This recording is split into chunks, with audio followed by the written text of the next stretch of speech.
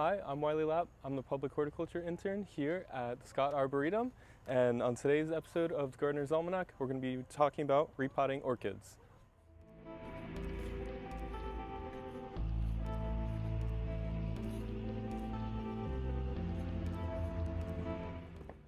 There's a lot of pots available out there specifically for orchids. Um, you can get kind of your basic nursery style pot, which is just your average plastic pot with drainage holes at the bottom. You can get these net pots, which are really popular for like aqua or hydroponics or um, growing if you maybe growing in a greenhouse and have really high humidity conditions or you're watering very frequently. And one of my favorites is just a terracotta pot, but specifically terracottas that have slits on the side, or you'll see some that have holes on the side. Um, these are sold as orchid pots. So these ones are really nice and also just terracotta in general because it is porous on the outside. So it lets it breathe a little bit, lets a little bit higher exchange of oxygen into the potting media and the roots. And these slits also just help aid in that and add a little bit of airflow into it. These net pots are almost like the extreme of that. So it's just a little bit of structure just to hold in the soil, hold in the orchid, but there's a lot of air movement in these. For just the average grower, I probably wouldn't recommend a pot like this. Um, reason being is most of our houses, especially in winter or if we have central air, there's constant airflow that's really dry. And so what that's gonna do is actually hinder root development and kind of keep the roots dry. So unless you have maybe a humidifier, a special terrarium this is set up in, or we have the luxury here of having a greenhouse, uh, we can get away with doing that. So this is kind of an example of one that's grown in a net pot. So these roots are really kind of nice, vibrant green, really healthy, but that's just because there's so much humidity in our propagation house that allows us to grow orchids in these pots. Um, in my personal home, kind of collection. I don't use them just because I know I don't keep the humidity up high enough. Um, and lastly, if you don't want to get any fancy pot, just your average kind of nursery style pot will work. Um, just be sure you use one with holes at the bottom. And when you are watering, it is fully drained. Um, also, the potting media might be a little bit more important for something like this.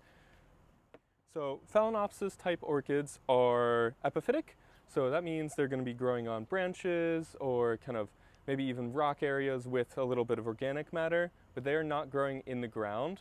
So that is kind of an important thing to understand when you're getting a pot because most of these roots, when they're growing on branches, are out in the open, they're adhering themselves to the tree, um, they get lots of airflow.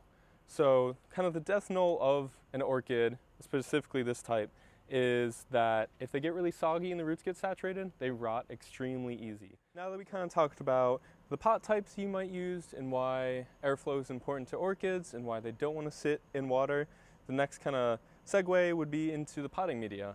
So a lot of orchid enthusiasts have their own particular blend they like to use. Um, I'm not going to say there's a right one or a wrong one. I think it's kind of one of those things that whatever conditions you have, or whatever you find works for you. Usually you like to stick to. Um, and I found one that works pretty well for me. So at the core, I really like to use just kind of a medium to coarse orchid bark. So this is just kind of an all-purpose um, fir or pine kind of chunky orchid bark. Um, so this is going to be somewhat reminiscent of like the bark that the orchid actually adheres to. So it gets those little crevices in there. Um, so you don't want to do something too fine or powdery. You'll notice there are little finer bits in here. That's okay, as long as most of it is pretty coarse. Um, so at its core, or like if you want to strip this down to the really basic minimum, you can solely use this and you'll be okay. But I like to vary it up a little bit, especially for the kind of the home grower to make it a bit, bit easier to do and a little bit more kind of uh, foolproof. So the next thing I add, which is pretty common, is sphagnum moss. So this is just a dried, long fiber sphagnum. I would not recommend like a milled peat moss. That's gonna be too fine. Um, and so the idea with this is it kind of, it's little strands of it throughout the potting media and they hold on to water really well. So we'll keep it hydrated over a longer period of time. Um, but so that the whole potting media isn't hydrated, we'll do a blend with the bark. And then I like to also add This is called LECA. Sometimes you'll see it sold as Hydroton or just kind of expanded clay pellets. Uh, so that's really all it is. They're little kind of clay pellets, clay balls that are been baked in the oven, so they're super porous. Um, these hold on to water a little bit, but actually the best part about them is they let air go into the soil. So it keeps the soil from getting super soggy or hydrated. Um, you'll probably see a coarse or like a really coarse perlite more commonly in an orchid blend. Uh, it's kind of a visual thing. I don't really, really like seeing the perlite in the soil, so I choose the LECA instead. It serves perfectly the same function though. Um, and so kind of the blend I've found that works for me and my kind of watering cycle, what I do at home, is two parts of the orchid bark to one part of the sphagnum and one part of your LECA or coarse perlite. And so really kind of the idea of that is at its core, it's the orchid bark. You have some of the sphagnum for water retention, gives the roots something to grow towards and kind of adhere to. And then you have the LECA or the perlite to just give the soil a little bit of lightness, give it some aeration so it's not too heavy.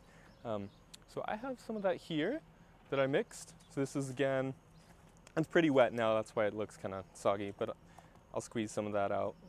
Um, this is the two parts of the bark, one part of the sphagnum and one part of the clay, and then I just mix that pretty well together. And there's one more thing to talk about with repotting, and this is kind of going back to what I said with humidity.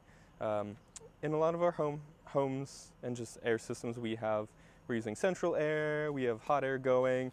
That just really takes all the moisture out of the air. Um, and if you kind of want to grow something maybe in a net pot, or you just find that your plants are drying out too quick, even if it's in kind of a more traditional terracotta orchid pot, I like to do a humidity tray. Uh, this is not uncommon at all. Uh, usually you'll see it in kind of a bigger tray. So at its very least, it's just a saucer, you have a plastic saucer here, you have some gravel in it, and then you put a little bit of water in.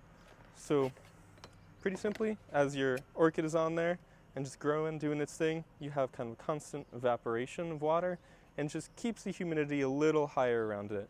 Uh, you'll notice you'll have to kind of replenish that every couple days though, depending on how humid your house is.